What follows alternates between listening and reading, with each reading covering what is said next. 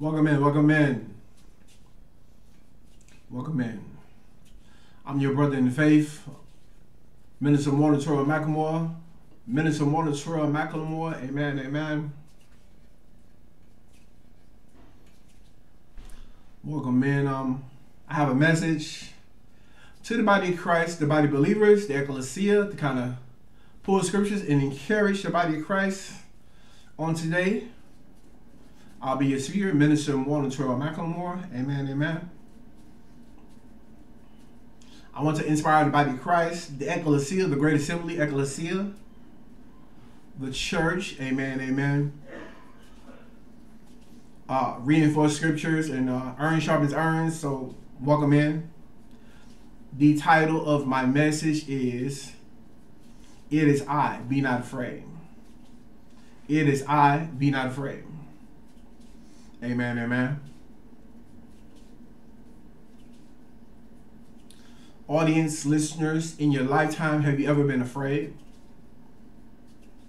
What thing or place made you afraid? I know if we trust Christ Jesus and do his will, be in his will, we do not we do not have to be afraid of anything.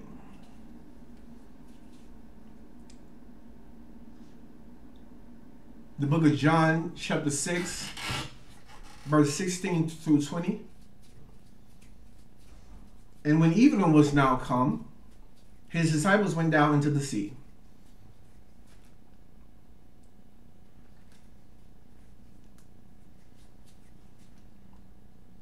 And entered into a ship and went over the sea toward Capernaum. And it was now dark and Jesus would not come to them. Jesus was, was not come to them. And the sea arose by great re- reason, by reason of a great wind that blew. So they had rowed about five and twenty or thirty furlongs. They see Jesus walking on the water. And drawing nigh into the ship, they were afraid. But he said unto them, It is I, be not afraid. Okay, so welcome in. We just read uh, John chapter 6, verse 16 through 20 is our main scripture, is our anchor scripture. Uh, my title is It Is I, Be Not Afraid. Amen, amen. After the disciples saw the miracles Jesus did with the loaves, their faith was tried by storm at sea. Well, that's something we should all be able to relate to as Christians. After God gave us the first miracle of being born again, we went on our journey with him, following him. Then soon after came trials and tribulations to build our faith so that we had to trust God to bring us through the troubles. God can't really make us without trouble. I mean, we had to trust that it is I, Jesus the Christ, and we would not be afraid. In verse 18 of chapter 6, John chapter 6, verse 18, the sea arose by reason of a great wind that blew. I, I believe that relates to all believers. With the storms of life, we will all have to experience as followers of Jesus Christ and saints. We, the saints following Jesus Christ, the storm that blew, the great wind that blew at sea in verse 18 of John chapter 6, I believe relates to all believers with the storms of life that we all will have to experience as followers of Jesus Christ. Amen. The storms of life comes the storms of, of life come to develop our faith. Our faith will be tried by fire. We as we as followers of Christ And Christians will go through the fire. That's First Peter, reference First Peter chapter 1, verse 7. The fire manifested itself in John 6, came in the form of a great wind that blew at sea. In the midst of the great wind blowing, here comes Jesus Christ walking on the water saying, It is I, be not afraid. God will always show up on time in the midst of our storms of life. Just when we think we cannot handle the storm and trial and tribulation, the storm and the trial and tribulation, then comes God. God will then show up with another miracle, walking on the water to save us and encourage us, his people. We as believers need to get anchored in Jesus Christ, having and building faith in him daily. With faith, we, we are reminded that it is I, Jesus Christ, and be not afraid. As we continue to maintain faith, you know, be not afraid of anything, you know. As we continue to maintain faith, we, we, we should not be afraid of anything because we are maintaining faith daily. This is He, the same Jesus Christ that brought and brought us out of darkness into, and, brought us into the marvelous light. This is the same Jesus Christ that I am, the God of Abraham, the same yesterday, today and forevermore. We should, as followers of Christ, should never become afraid. We as believers need to get anchored in Jesus Christ.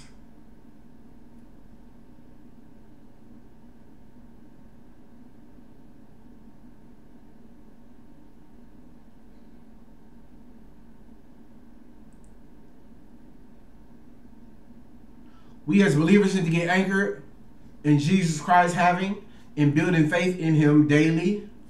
It is either Christ. It is either it is either Jesus Christ. Be not afraid, because I'm already at an elevated place on a holy mountain, praying and making intercession for believers.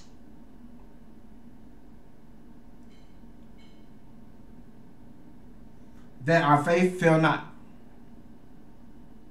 Christ Jesus is even now on God's holy mountain at the right hand of all power, praying that our faith fail not as saints. We have confidence while going through any storm. And while great winds are blowing in our in our life, we have confidence. God knew we were going to have storms of life while going through life, while he remains on the mountain. So he sent down for us in, in the New Testament era his Holy Ghost, his Holy Spirit to comfort us. Saints receive the promise of the Holy Ghost. Saints receive that. The Comforter.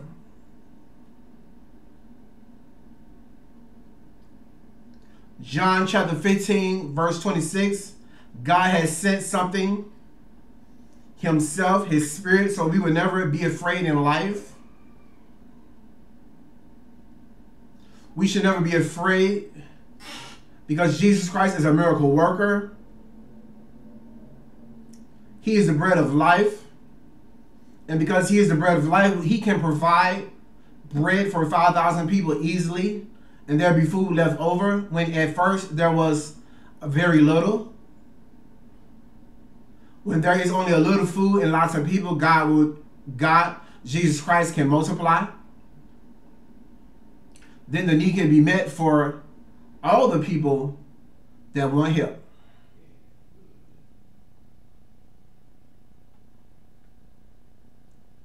The body Christ be body of Christ be not afraid. Body of Christ be not afraid. A famine in the land. Be not afraid when in hunger God will for, God will fill us and provide for us his saints. Peace I leave you with. My peace I give unto you, not as the world giveth. give I unto you. Let not, let not your heart be troubled, neither let it be afraid. The Bible explicitly tells us be not afraid of death, sickness, or, or tribulation. Scriptures warns us do not fear those who kill the body, but cannot kill the soul. Rather fear him who can destroy both soul and body in hellfire. Reference, reference chapter uh, 10 of Matthew, 10 and 28 of Matthew, when the Bible says that we should fear God, this means to know and live by the commandments of God as, as the divine authority over all things. The biblical message, be not afraid, relates to worldly and, and spiritual forces outside of the kingdom of heaven. We should not fear the earthly threats of violence or persecution or demonic spiritual forces of temptation and despair. Jesus Christ is the Alpha and Omega of life itself. Who defeated death and the devil, who defeated death, the grave, and the devil by his holy resurrection.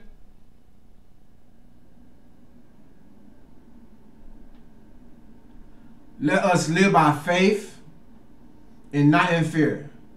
Rejoice in the Lord. The Lord is my light and my salvation. Whom shall I fear? The Lord is the strength of my life. Of whom shall I be afraid? When thou goest, household faith, body of Christ, when thou goest out to battle against thy enemies, and see horses and chariots, and people more than thou, be not afraid of them. For the Lord thy God is with thee, which brought thee up out of the land of Egypt. Behold, God is is my salvation. I will trust. I will be not afraid, for the Lord Jehovah is my strength and my song. He has also become my salvation. Beloved in the body of Christ, be not afraid for the terror by night, nor for the arrow that fly by day, nor for the pestilence that walketh in darkness, nor for the destruction that wasteth at noonday. Beloved in the body of Christ, be not afraid, because God the Most High shall cover thee with his feathers, and under his wings shall be thy, thy trust. His truth shall be thy shield and thy buckler. Let us put on put let us put out trust. Let, let us put our trust in Christ and never become afraid. We will never be afraid because God our Father knows and understands our situation and whatever we're going through. We are worth more than many sparrows. The hairs on our head are all numbered. Our Father God knows what we what we are in need of, even before we ask. Amen. Be not afraid of men also, no matter what the earthly man has said and plotted to do against the believers and saints, do the will of God anyway, despite what man thinks, despite the persecution that comes from this Christian lifestyle. Anyone who plans to live a godly life must suffer persecution. The things of God are foolishness to man who is perishing, the earthly man who is perishing, but to the people of, of God who will be saved, Christ preached and the message of the cross is, is the very power of God. Amen. Throughout his 26 year pontificate, St. John Paul used phrases do not be afraid. John Paul, John Paul II of the Catholic Church reflected on the phrase in the book Crossing the Threshold of Hope and explained that it was the Holy Spirit who inspired him to say those words. Be not afraid. He said the words, be not afraid, in St. Peter's Square. Then he continues to the reflection explains why he will often return to the phrase during his many years as Pope. Do not be afraid. It is I, the Christ, be not afraid, is what I'm trying to articulate. Your brother in the faith, more than Malcolm Moore. It is I, the Christ. It is I, Jesus Christ, be not afraid. Uh, amen. Uh, Christians should not be afraid of any storm that buffet them, for they have hope. They have their hope in Jesus Christ, who came to save the world from darkness. We know that God is in control and that He is love and He is our and because that He because He is love, all fears shall shall disappear. Amen, amen. God is love, and, and if we truly understand that, we no longer have fear of the present world situation, even if it grows darker. God is love, He is in control. Saints of the Most High God, Saints of the Most High God, be not afraid. Amen. Be be not afraid. Whatever's coming in the future, be not afraid of the evil report. We have another report. Amen. We have another report. Be not afraid. It is either Christ, be not afraid. So uh, that's my message. Uh, I want to uh, invite non believers who listen to this message. I want to open the door to the kingdom, open the door of the salvation, which is made and experienced through believing in your heart and confessing with your mouth. So if you want to become a part of the kingdom, uh, after listening to that message, uh, God has been dealing with you already. Uh, amen. You can repeat this prayer with me. Uh, Father God, thank you, Lord, for your Son, Jesus Christ. John 3 16. It says in the scriptures, For God so loved the world, He gave His only begotten Son. Jesus Christ, I call upon you now. I repent, repent for my sins, past, present, and future. Wash me, make me clean. Purge me with hyssop. Make me clean, make me whiter than snow. Create me a clean heart, renew a righteous spirit in me. Uh, I want I want to make you head over my life. I want to make you the head over my life, Jesus Christ. Uh, I don't want to be afraid of anything. Show me, teach me, teach me the gospel line upon line, precept upon precept. Show me how not to be afraid of anything. I will not be afraid of anything anymore now because I, I'm making you Lord over my life now. You're the Lord of my life. I will turn from sin. I will go through the sanctification process of turning from sin. I will go through the process of becoming a mature adult. No longer will I be be afraid because I am born again now. I confess Christ with my mouth, the confession, uh, and believe in my heart that you are the Lord Jesus Christ. You're the only begotten Son of God, fully God, fully man, God in the flesh. Amen. Okay, so if you pray that prayer, uh, it shall be done for you. It is so. Amen. Um,